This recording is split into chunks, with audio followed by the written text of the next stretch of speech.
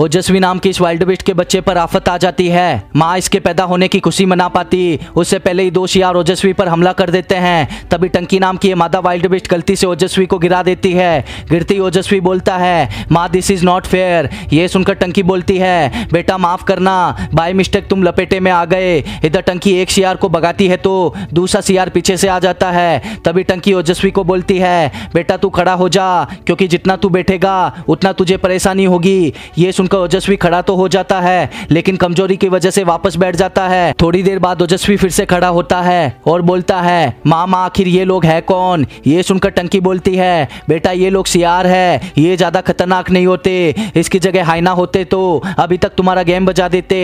तभी अचानक फिर से टंकी ओजस्वी को पटक देती है। अच्छी बात ये थी कि ओजस्वी को कोई चोट नहीं आती और दूसरी तरफ़ सियार भी भाग जाते हैं।